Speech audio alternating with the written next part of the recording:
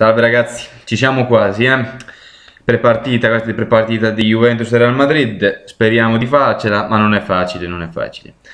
Allora, ho visto ieri comunque che Cristiano Ronaldo ha avuto qualche problema alla schiena e ho visto che si è proprio steso sul campo dello Juventus Stadium a farsi massaggiare. Potrebbe essere una buona cosa che la Juve dovrebbe sfruttare, dato che Ronaldo non è in forma. Bale però è recuperato, non ci sarà Benzema e non ci sarà Modric. Allora, la Juve dovrebbe fare il 4-3-1-2, difesa 4, perché contro il Reale se non fai la difesa 4 probabilmente perdi.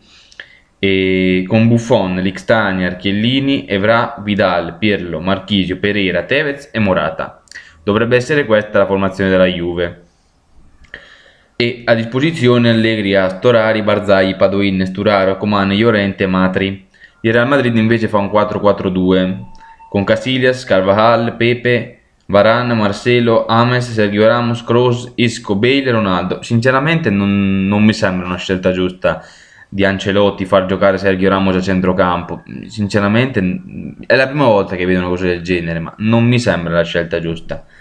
E a disposizione il Real Madrid ha Kroos, ah, scusate, che, Navas, Arbeloa, Coentrao, Kedira, Yaramendi, Hernandez e Rodriguez Cross gioca, quindi è a disposizione per forza. Allora, esattamente mm, allora, 2015-2002, eh, 13 anni fa la Juve eh, vi, supera l'Inter all'ultima di campionato e vince lo scudetto, perché oggi vi ricorderete che è il, è il 5 maggio, no? E 13 anni fa io ero molto molto molto molto piccolo e 13 anni fa avevo 7 anni e la Juve aveva superato l'Inter all'ultima giornata vincendo un campionato che era praticamente perso.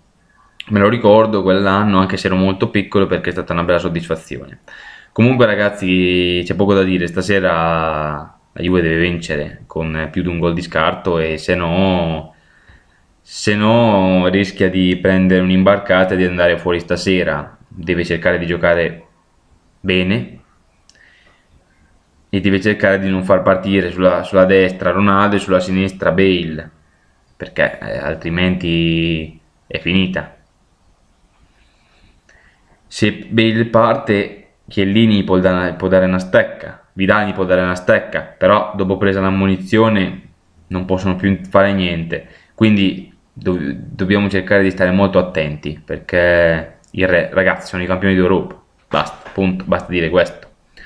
E quindi ci rivediamo stasera, speriamo bene e forza Juve. Ciao.